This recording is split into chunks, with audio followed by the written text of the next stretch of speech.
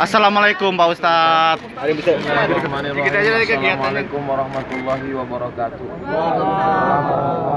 Wassalatu wassalamu ala Rasulillah wa ala alihi wa sahbihi wa man tabi'ahu wa mawalah. Saya sebagai seorang dai masuk ke kantor, keluar kantor BUMN, dinas, kemudian badan pertanahan dan tadi pagi di Direktorat Keuangan TNI.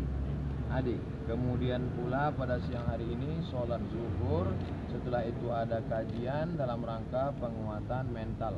Kalau di TNI ada bintal Di kantor-kantor juga ada penguatan sesuai dengan agama kita masing-masing. Maka di KPK ada tausiah, ada pengajian Untuk menguatkan keyakinan agar apa yang kita lakukan adalah ibadah. Dan mudah-mudahan sahabat-sahabat juga yang menebarkan berita-berita kebaikan, kebenaran, yang menunjukkan hak yang batil ini juga bagian dari ibadah dari kawan-kawan pers. Saya ucapkan banyak terima kasih. Mudah-mudahan dengan menebarkan kebaikan negeri kita tetap menjadi negara kesatuan Republik Indonesia yang baldatun thayyibatun wa Terima kasih, mohon maaf. Wassalamualaikum warahmatullahi wabarakatuh. Pak Ustadz ada te- ada tema khusus sih dalam kajian di KPK Pak Ustadz. Tadi pesannya apa? Temanya tentang integritas.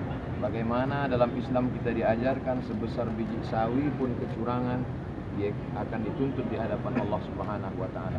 Saya bercerita tentang bagaimana dalam Islam diajarkan dalam sholat kita tidak bergerak padahal bergerak itu boleh. Dalam puasa kita tidak makan padahal makanan itu halal. Hanya karena mendidik jiwa kita untuk menjaga kesucian. Tidak ada gunanya banyak ibadah kalau kita aniaya pada orang, kalau kita makan dikabulkan Allah. Hanya terkait tentang hubungan kita dengan Allah Subhanahu wa taala.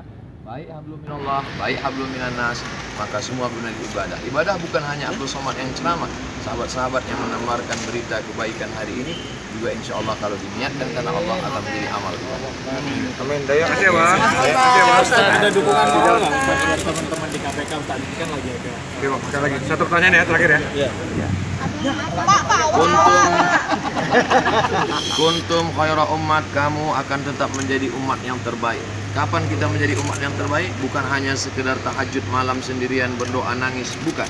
Umat terbaik tak bil ma'ruf, berbuat baik, support kebaikan, berikan dukungan moral terhadap kebijakan kebaikan, Watan hauna anil mungkar, larang perbuatan mungkar, cegah orang dari perbuatan dosa, maka itu adalah inti ajaran Islam. Islam berani mengatakan tidak pada khamar, tidak pada narkoba,